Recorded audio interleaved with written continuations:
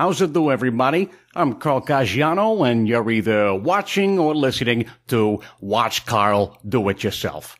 Now, I've been getting a buttload of mail lately asking me to do a do-it-yourself for a particular wearable item. Now, if it weren't for my mail guy threatening to haul off the last three months worth of my unclaimed mail to the dead letter office, I never would have known. So let me start off by giving the official do-it-yourself salute to whatever that guy's name is. I've never seen him in person. Let me just go through these letters here. I'll pick one at random. Oh, and by the way, another thanks to all you uh, who went through the trouble to send me actual handwritten letters on paper. Uh, still uh, waiting on that uh, password reset uh, from uh, tech support to get into my email. Okay, here, here, here we go. This this one comes from Monty in Fort Winnebago, Wisconsin. Now, Monty writes, "Hey, Carl." This pandemic sure sucks, but the medical experts keep saying it's safe to leave the house if I wear a mask. Can you show me how to make one at home? Pandemic. Hey, that's what I call a visit from the mother-in-law too, Monty. I don't blame you for wanting to lay low and hide your face. Okay. That's a funny joke. All right, let's, let's pick a real one though here. Ah, that's it. Okay, here we go. Vanessa from Modesto, California writes, I love your show, Carl. It's helped me stay sane during the lockdown. Oh, that poor woman must live in earthquake country. Uh, reading on, uh, all the online shops are out of face masks to help prevent the spread of disease. Can you show us how to make one with simple, everyday household materials? you know, I bet you Monty and Vanessa are in cahoots, you know? what are the odds of two people asking for such a random, let, let me, let me just, let me just pick a different one here. Here we go. Uh, no, that's, that's another one about mask and, Okay. We got, we got, uh, Pradeep in Sweetwater, Texas says, Carl, the virus has devastated my community. I need a good man. What the hell? Janine Ocala, Florida. Packs of wild dogs roam the empty streets, scavenging for the dead among us. They're all like this. Holy shit. Uh, Gladys, honey, uh, how long was I working in the garage on the cabriolet? I'm watching the wheel. Oh, Okay, well. Oh, hey, here's today's paper. Oh, no. Oh, God, no. Oh, sweet Christ, on a flaming unicycle, this can't be happening. Oh.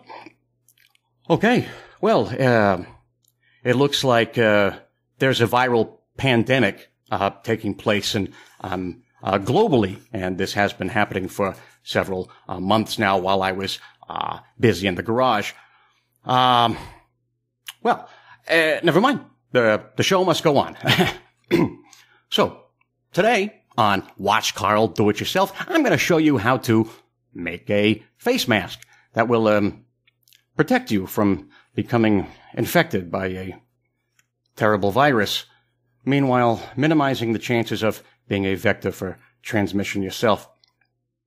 The first thing uh, we're going to need is an old hand towel, or failing that, uh, five ankle socks. Uh, next, you get a pair of scissors, some glue, and wait a minute. Wait a minute. There's nothing but pestilence and certain death out there. Why the hell would anyone want to go outside? What the hell is wrong with you? Janine, Pradeep, Vanessa, Monty, here's my instructions for you. Put down what you're doing, turn off the TV, put down the phone, and hold in a lasting embrace the person nearest you. For now is the time for us to acknowledge that every life is but a mere spark, leaping off the bonfire of time, soon to be snuffed out of existence in a chance act as chaotic and arbitrary as that which produced that tiny twinkle in the first place.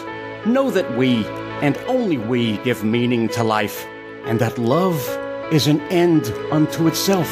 For love is the only. Carl, the picture's got out. Come fix it. For Christ's sakes, Gladys, I'm doing the show!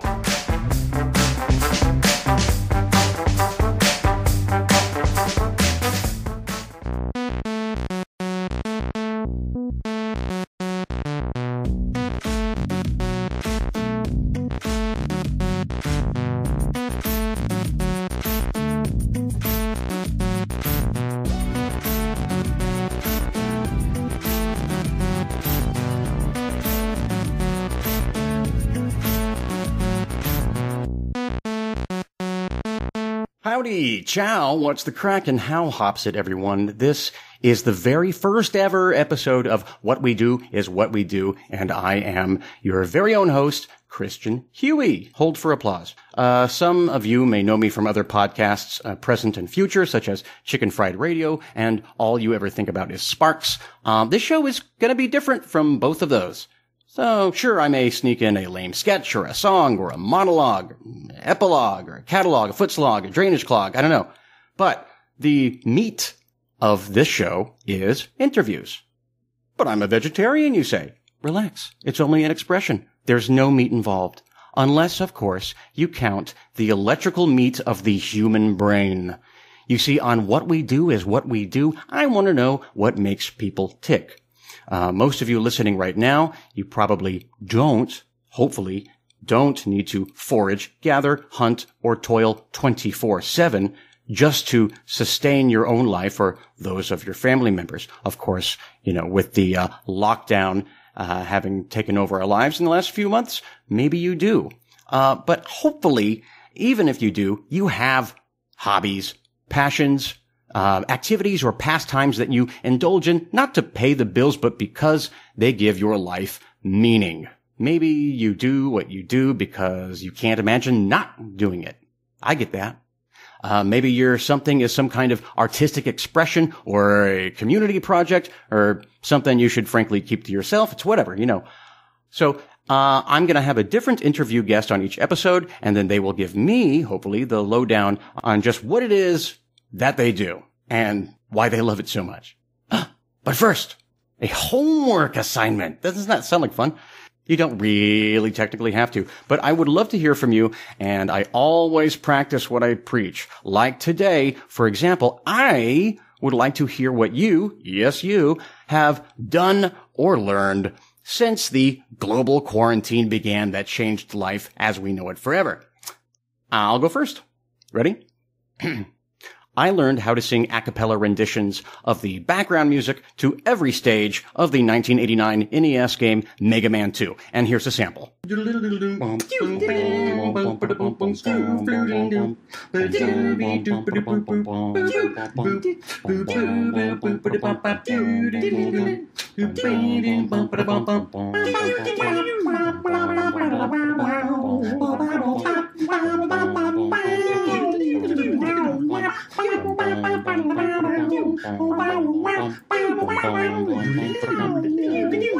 See, man of my word. Uh, now it's your turn. What's something you've achieved or learned to do during this horrible moment in human history? You can write to me at christianchuey at gmail.com. That's C-H-R-I-S-T-I-A-N-C-H-U-E-Y at gmail.com. Or you can let me know on the What We Do is What We Do official Facebook page. And, uh, I'm also on Twitter at, at Christian Huey. My guest today is Mr. Dario Western from Brisbane, Australia, by way of Manchester, England. Besides being a fellow fan of the band Sparks, shameless plug for my other show, please listen to All You Ever Think About Is Sparks, Dario is both a musician and a committed naturist. Now, I will let Dario explain for himself exactly what a naturist is and what's important to them, as well as um, he'll describe his music career. And now, Mr. Dario Western. So happy Easter to you. Yeah, happy Easter to you too, man. So how's it going so far? I assume, like um, the rest of the world, you're not doing much out of doors. No, I've uh, been a homebody for many years anyway, so I'm not Mm-hmm. really too bothered by this whole uh, pandemic. Same, yeah. I I can absolutely relate. I, I only now I'm doing the right thing. I'm I'm actually getting plaudits for doing what I what used to be considered a, um, asocial. Um, well, thanks so much for uh, for volunteering to be um, my first interview subject in my non Sparks uh, podcast. Well, I guess we'll we'll just we'll just start start with yourself. Um, if, if you don't mind, just to your, introduce yourself and where you live. Okay, yes, uh, my name is Dario Western. I live in uh, Fortitude Valley in uh, Brisbane, uh, Australia. I've uh, been a Sparks fan since um, around uh, 1974, but I didn't get into them properly until I was 17 in 1988, and um, have been uh, hooked ever since I bought uh, Kimono House and uh, Whomp That Sucker. There you go. Yeah, yeah. Two, two, uh, two gold choices. So I read on your uh, Facebook uh, bio there that you are a Mancunian. You're not a native Australian. No, I was born in Withington in Manchester, but um, I uh, emigrated to Australia in 1982 um, because of a lot of uh, racial uh, riots and uh, unemployment that was going on in England at ah. the time. Um, yeah, blacks and um, Asians, especially the uh, Indians and Pakistanis, were getting uh, beaten up wow. by skinheads, and there was. Um, England had its highest peak of unemployment um, when the Thatcher government right. came into power, and my dad got sick of it all and he decided to uh, move us to Australia where my uh, mother's family was uh, and still is uh, based. Wow, that's wow, that's that's an incredible story. So how was it how was it different uh, culturally making the move to uh, to Australia?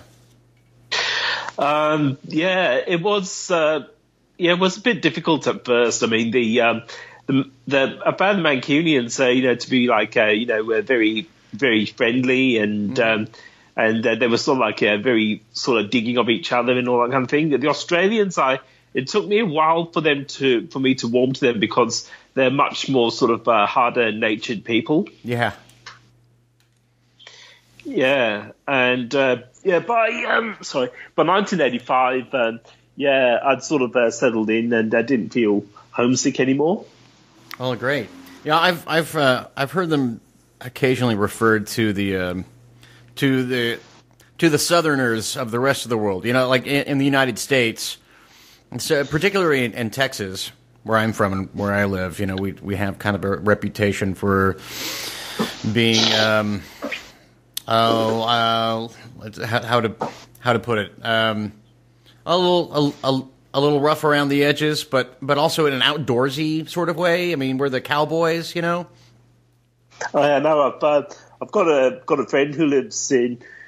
Well, she's from uh, Texas originally, and uh, she lives in Florida. And uh, yeah, she um, she and I uh, had a good online uh, friendship for a number of years. But yeah, she's sort of retired a bit from internet life. Yeah, I don't blame her. So um, let's talk about naturism because that's what started mm. this this conversation. Um, so you uh, you're, you're, a musician, of course, and you were in a band. And I checked out some of your songs, uh, and you have a lot of songs that are devoted to uh, naturism and what it's all about. So I'm just going to let you describe what naturism means to you and why it's such a big part of your life. Okay, um, excuse me a minute. yeah. I uh, first uh, became aware of naturism when I was uh, eight years old. Uh, the BBC uh, put a documentary out in uh, January 1979 called Let's Go Naked, which you can watch on um, YouTube. And it was all about the the naturist scene in um, England and France and Europe and a, a, little bit of America. Um, the naturist scene was starting to take hold um, in mainstream Britain in 1979 when um, a beach was uh, was uh, going to be legalized for nude recreation out at uh, Brighton uh, the following year. Yeah, and um, I didn't get into it until um, 1990 when I went to a uh, swim party in uh, Brisbane on my own, and mm-hmm. um, it took me about 20 minutes to just sort of like you know suss out the scene to see how everyone was interacting, and then I just got my gear off and yeah, did a few laps around the pool, and um, yeah. yeah, haven't uh, really uh, turned back since. Right. Okay. And it's and clearly it's be- become a, a, very big part of your life. I, have had a little bit of exposure to it uh, myself. There's there are a couple of communities not t- terribly far from where I live here in Austin, Texas, that um, yeah that are you know clothing optional. The naturist part, you know, the, the, those of us who are not in the know, I think still uh, still make the mistake. We still call it nudist, which I, am sure is probably a not a favored term. Uh, it doesn't bother me either way. Um, okay. yeah, I know. Uh, I know of the um, the Hippie Hollow uh, clothing optional uh, lake in Austin, Texas. Yes. Okay, you know Hippie Hollow. Yes. Okay, so I've I visited Hippie Hollow and a, a place called the Star Ranch. Uh, which is uh, mm. nearby. And um, you know, and li- like a lot of people, I was initially a little apprehensive, you know, because I mean, it's the the culture in which we're raised. You know, you you you it's it's shameful to take off your clothes in front of strangers and in public. And uh, so I wanted to you know to sample that experience and, and see what it was like. And it was really, really liberating. And I got to tell you, my guard dropped probably within the first hour of just interacting with people, and we're all at the same level. Yeah, um, I don't really subscribe to this um, this uh, philosophy that naturism makes us all equal because uh, we all come from uh, different uh, classes and different backgrounds. Mm-hmm. You know, the only thing that we've got we really have in common is that we just choose to wear no clothes. I mean. Mm you know, naturism is not the same as uh, socialism or communism mm. or anything like that. But um, yeah, um, you, you, can't tell if uh, somebody is like a uh, rubbish collector or a doctor or a lawyer or whatever mm. because um, they're not wearing clothes. You have to uh, ask them what they do for a living, you know, to find out. So what what is um, what do you think is so um, valuable about uh, naturism when and when you're talking about your so in a community, your social interactions. Yeah, um, I think uh, that the best thing is that it's it's quite easy to uh, read another person's uh, body language. You know, you you can tell instinctively how they're how they're feeling and all that kind of thing with the way they you know they're they're, they're um, sitting or the, the way they're moving or the way they're they're holding themselves and all that kind of thing and um, when they've got clothes on, it's not so it's not so easy to try and suss out how they're how they're feeling. Yeah, that, that's what I. And the other thing is, it feels much better to do certain things naked, like uh, you know, uh, swimming or playing sports or having a massage or whatever. You know, it doesn't uh, feel uh, feel the same. You know, when you when you're fully dressed. Right. So when uh, you know when when you are going about uh, naked. I mean, uh, clearly, you know, you you live in a you you live in a big city. Uh, where you know going out and about. Uh, let's forget about the pandemic for a moment, but going out out and about mm. without clothes on, uh, uh, you know, obviously would, would be frowned upon. So, where do you belong to a community? Do you where? How do you engage in this? Okay, I run a community on um, several platforms, including uh, Twitter and Instagram and Facebook, called uh, Brisbane Naturists. I've had it since about uh, 2007 or 2008, and um, the the Facebook uh, yeah community group has got uh, 414 uh, people, both um, males and uh, females alike, on it. And I've also had meetups at my place as well as at friends' places in Brisbane. Mm-hmm. Yeah, um, I live in um, the Fortitude Valley, which is a um, inner city suburb, so uh, it's quite uh, easy for people to get to my place. And um, yeah, we do stuff like uh, have uh, have DVD days where we like uh, watch uh, naturist uh, films and shows, and we have things like body and face painting, board games, stuff that's just very basically fun and can appeal to people of all ages. You know, we're we're not uh, we're not snobby or anything like that. Does it ever surprise you the the types of uh, people that that you meet who are into the naturist way of life? Um, not really, uh, because they they come from like a pretty average uh, cross section of uh, society. But uh, yeah, you do meet some interesting people. I've been to a uh, festival called uh, ConFest, which is usually held around um, Easter and and in the past uh, during Christmas and New Year as well, out in uh, southern New South Wales, and they get a lot of uh, like a bohemian uh, artistic uh, type people that mm-hmm. go to it, uh, especially from America and the UK and Europe. some of them, especially, just visit Australia purely to just go to the festival, and that's about it. let's talk about your music for a moment. Uh, so you you are a hmm. musician. Uh, how long have you been playing music? And I I what, what all do you play? I know you play the, the guitar. Yeah, I play guitar. I can also play uh, keyboards and uh, trombone and violin, and um, also a singer songwriter. I uh, got into music when I was about uh, five years old. Um, I learned uh, to play piano, and then uh, when I uh, when I reached uh, high school in Australia, my uh, mother uh, became a music teacher. She taught uh, piano to um, a number of her kids um, uh, when I was in high school, and um, I um, I also took up uh, doing um, music exams. And uh, when I left school, I did a course in sound engineering at the Brisbane Conservatorium of Music. Have you been part of the the the Brisbane larger music scene? Have you been playing in many bands? Not counting. Yeah. uh, Yeah, but uh, I, played in a band called uh, Blackened uh, during the 90s with my uh, then girlfriend, uh, Julie Hepburn. Uh, we we were uh, around from um, 1995 till uh, 1999, and um, yeah, we played um, we played a number of uh, local gigs, and uh, we had uh, some stuff uh, recorded at the uh, School of Audio Engineering and uh, Shockwaves uh, Radio. Um, then after we split up, I uh, took to managing a garage uh, R&B band uh, called the Busy Men, who are still around today. Oh, cool. And uh, the lead, yeah, the lead singer's, um, yeah, mother's boyfriend um at the time was also a naturist, and uh, he was also into tantra and meditation and stuff like that, which I found quite interesting. Now, was that was was was that the moment where your love of music and your interest in naturism uh, collided, or is that just a coincidence that he happened to be a naturist? Um, it's sort of uh, it's sort of uh, just uh, gradually uh, melded into into one thing. Um, yeah, before that, I, I'd uh, kept my music and uh, naturist um, endeavors apart. And um, yeah, in 2001, I I got uh, the first lineup for the band uh, Laissez-Fayre together. Um, after watching uh, some of these um, music uh, reality shows like um, uh, what was it called, Pop Stars and Australian Idol.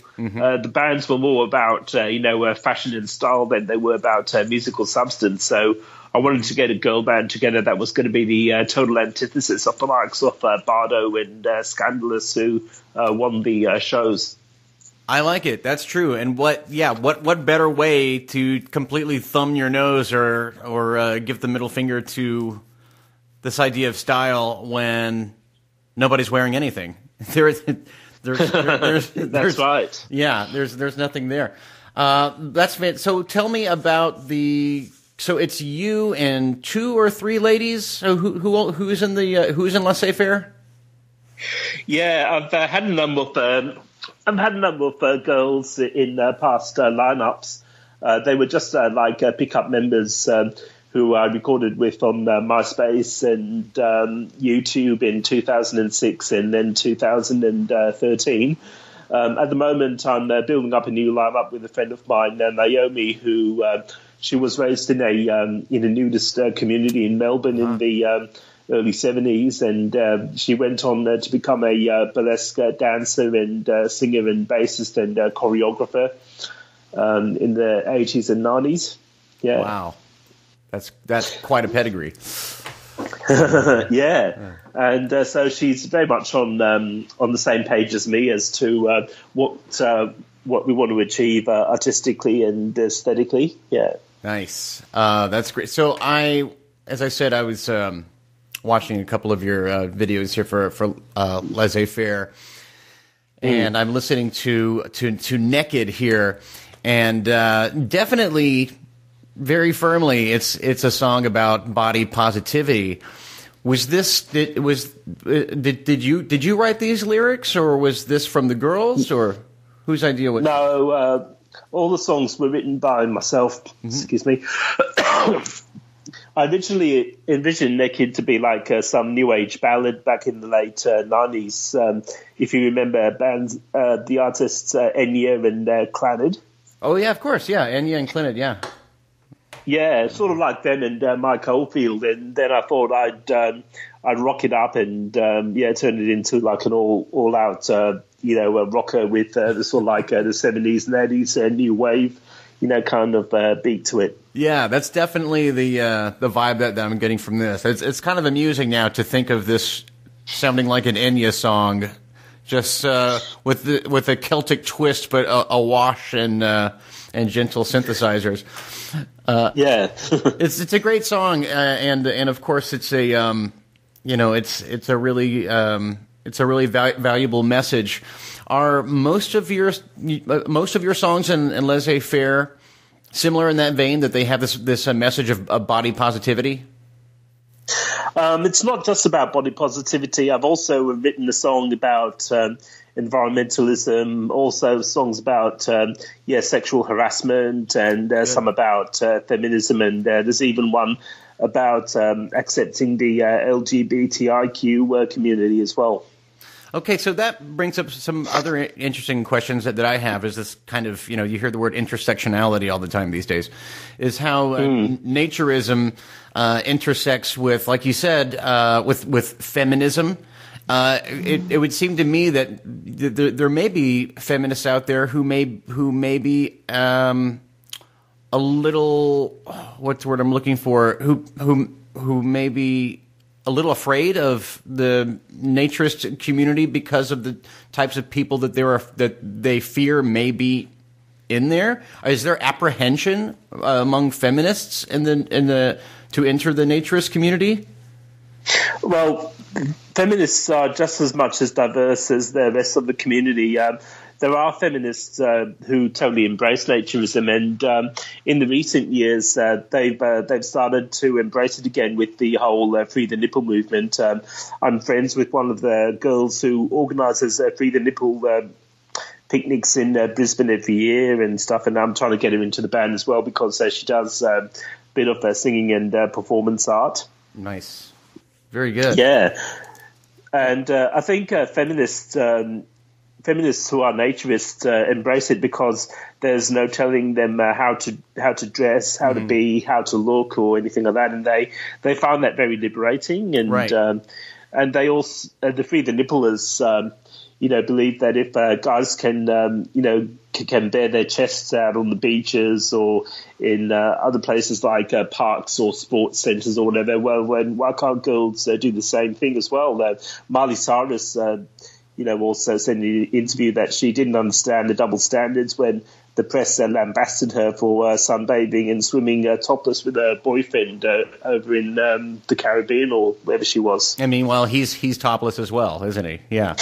yeah, she yeah. said uh, she said that guys can get their tits out on the beach, so I don't see why girls can't do the same as well. I, I don't get the double standard. Yeah, that is that is quite a double standard. It's it's interesting that you mentioned that because. Um, one of the quirks of uh, of Austin, uh, Austin, Texas, is is that um, there is no double standard. Luckily, in, in, in our city here, so a woman is actually free to walk around uh, with her nipples out, which is refreshing. And if you go down yeah. to uh, um, Barton Springs, which is our our natural springs where uh, people swim, you you will see you know uh, w- women you know freely walking around without tops on, which which surprises visitors who are not accustomed to that. Um, but anyway, I I, I, I digress. Uh, so. Uh, that's that's really that's that's very it sounds very empowering uh, what you're saying about uh, uh feminists and the uh, naturist movement, um, and also you you were talking about LGBT uh, people in the naturist movement, and do you find that they're starting to uh, have a voice as well? Yeah, there are a lot of uh, gay and uh, bi and lesbian, uh, yeah, guys and girls uh, who are naturists as well. Um, yeah, p- probably the guys a bit more because. Um, yeah, they find that uh, naturism isn't isn't uh, you know a beauty contest or whatever mm-hmm. or, or, whatever else you know, and they yeah they're, they're not so uh, hung up about the sizes of their of their penises or whatever that um, yeah. guys in the straight community are. Yeah, good point. let, let, me ask you this. Okay, so um, so there are so, so, you, you know you you you you live in the city. You don't um, you're not a resident of a naturist community, so you have to find events. Um, shared events where you can get together with other people in in, in the local uh, community. Is it that that's correct? Like beaches? That's uh, or that's pretty much correct. Yeah. Um, I have uh, organised uh, the World Naked uh, Bike Ride uh, on and off since 2007, which is oh. a um, environmentalist demonstration where we we paint our bodies up, you know, with slogans and stuff, protesting against um, the overdependence on fossil fuels as well as um, the destruction of the natural environment and promoting stuff like uh, you know uh, public nudity as well as uh, sustainable living um, and uh, green issues like uh, you know the greenhouse effect and whatnot. Um, I also uh, yeah promoted the event in a um, video by a Brisbane punk band called Violent Soho, who've got a bit of a following over in America and Canada and the UK. I did a song uh, for them called uh, "In the Aisle," where I was uh, running around Brisbane wearing just a tan-coloured uh, G-string and um, mm. handing out these dummy world naked bike ride uh, posters. That's a lot of great causes. That's that's yeah. That's a lot of fingers and and, and a lot of very uh, important pies, so to speak. yeah, yeah, it is. let me. so back to your your band. well, first off um, do you have any songs yet about any of those other uh, causes, such as the you know, greenhouse gases or any any of those other environmental issues yet? Are they wor- working your way into your music? Yeah, I've uh, written a song called "The uh, Age of Innocence," which um, yeah is um, is uh, partially about environmentalism, and um, yeah, that's a sort of a, like a new age uh, ballad. Cool.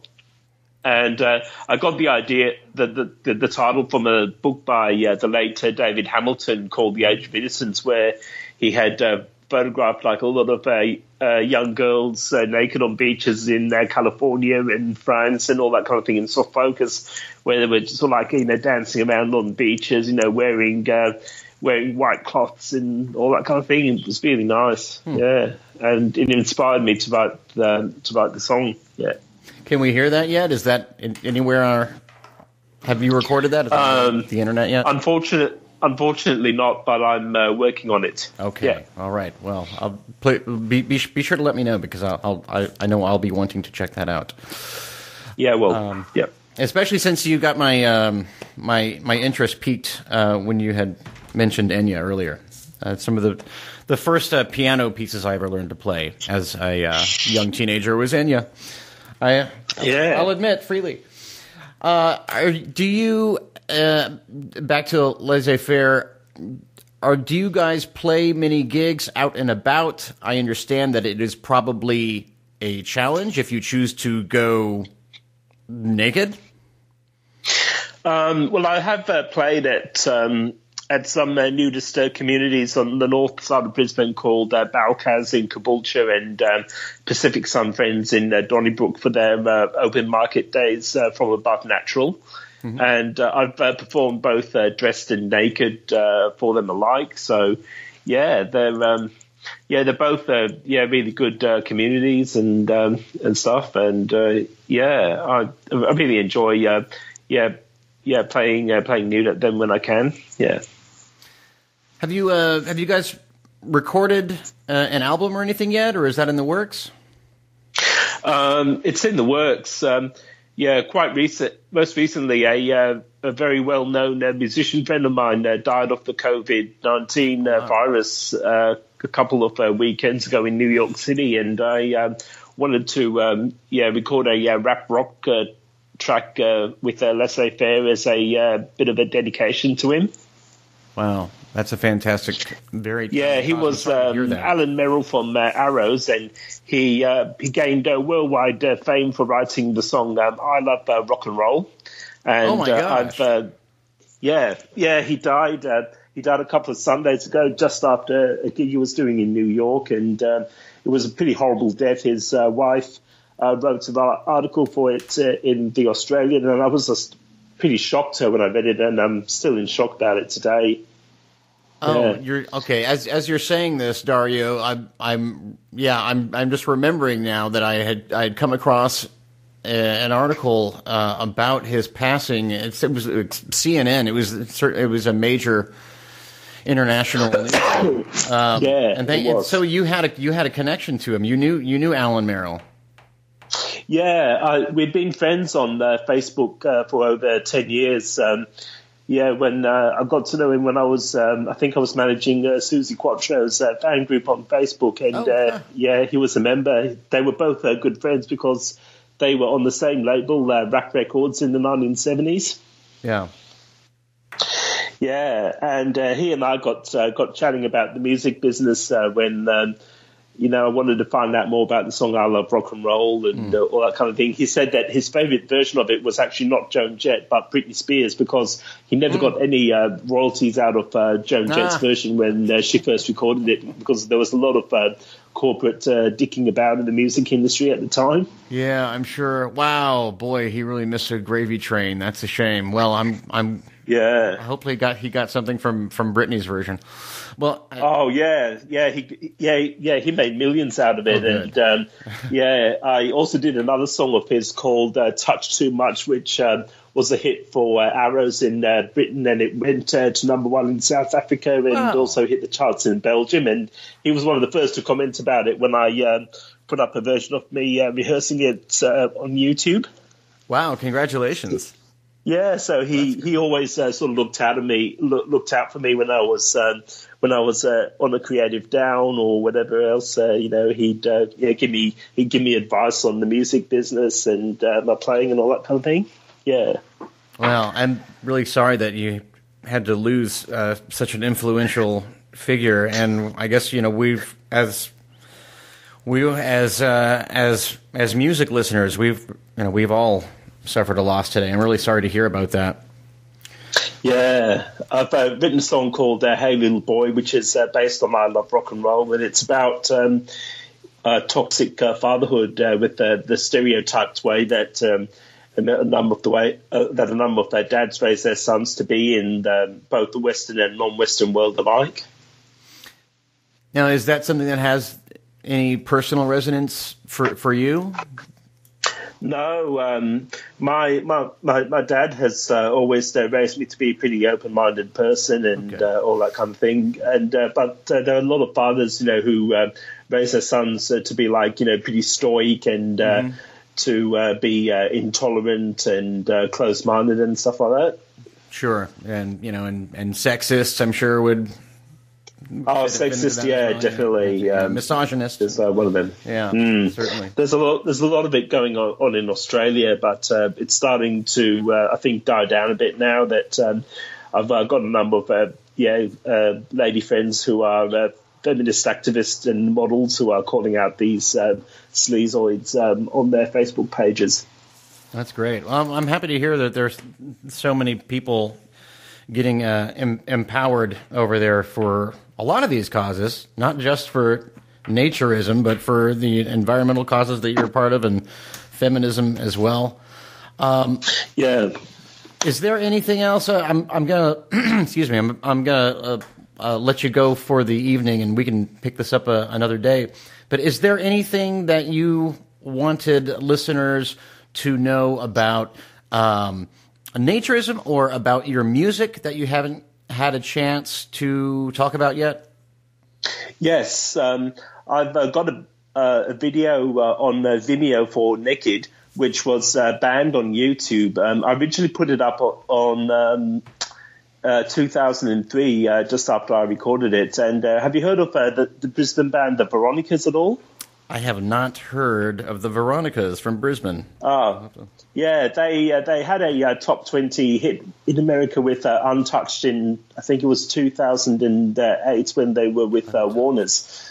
Um, but um, yeah, uh, in 2013 when I put the song up, it uh, it overtook uh, one of their songs, uh, "Cross My Heart," in the popularity stakes for a while. Um, it got over 114,000 hits with no record company uh, support, with no uh, publishing company, no radio airplay, no nothing. Well, how do you think And then, uh, yeah, it just went viral. I, I I don't know how, but um, somebody uh, falsely reported the video to be uh, pornography, and Hmm. it got uh, ripped down from YouTube. I tried appealing it, Hmm. and uh, YouTube uh, would not reinstate it, so uh, I had to. Um, I had to sort of download it off another site and Hmm. uh, put it up onto uh, Vimeo.com. Okay, I got you. So this is why we're directing everyone to, to Vimeo because it, it it is still playing on Vimeo, but but not YouTube. It's it's on Vimeo. It's uh, had about uh, four and a half thousand uh, hits, and there's been no dramas because with uh, Vimeo, uh, they're a lot more open-minded about nudity than uh, YouTube is. YouTube is uh, is a bit more inconsistent. yeah, yeah, they are inconsistent. So the uh, the band is uh, Laissez-Fayre. That's L A I S S E Z or Z. Uh, Fair, F A Y R E, and the song is Nekkid, N E K K I D. You can That's it. find that on on Vimeo. And uh, do you have a um, a website, or is there a social media site, or where's the best place where people might want to learn more about yourself and or your music? Okay, we've got a YouTube site which is www.youtube.com slash user slash Laissez-Fayre. There's uh, some interviews with me with uh, two of uh, the girls from past lineup, uh, Amanda uh, Herdman and uh, Nova Ciara. And uh, yeah, we we uh, had uh, played at uh, Balkaz, um, yeah, just before the interview at uh, one of the uh, Free Beach uh, Association meetups. Yeah. Excellent. All right, great. Uh, well, Dario, thank you so much for Yeah. giving me um, some some of uh, your your time today on Easter Sunday that we're all spending safely indoors. And uh, Yeah, no a- problems. Yeah, have a great rest of your day, and uh, I'm sure um, when when this is released, when I do actually launch this podcast, hopefully very soon, and I'll be, you know, um, people will be directed to uh, to check out uh, the music of um, Laissez-Fayre over there on Vimeo Yeah. and YouTube. Uh, you have a great day, Dario. Thanks so much, man. Thank you very much. See you later. And that's it. That's the show. That's our first show. There it is. Uh, I want to thank Dario for coming onto uh, said show. Uh, remember, his band is uh, L- uh, Laissez-Fayre, um, and that is spelled L A I S S E Z dash F A Y E. There, listen to Computer Girl. She spelled it for you. Uh, thanks for joining me on my maiden voyage with What We Do is What We Do. Uh, do check out my other podcast. It's called All You Ever Think About Is Sparks, all about the band Sparks. If you don't know who they are, then eh, I'll tell you in the podcast. Uh, before I go, I want to remind you all that uh, I want to have you, yes, you, on this show.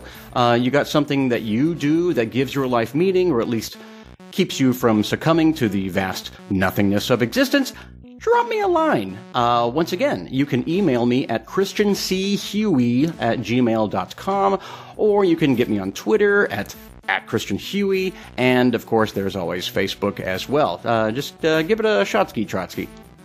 Until next time, this is Christian Huey telling you to stay well, wash your hands, hug a loved one if you can, if not, hug them virtually, and don't forget to call your mom. And now, because your urge to rock is a festering, here comes the music of Dario Western. This is Nekkid, by Laissez-Fayre. This song is best enjoyed nude.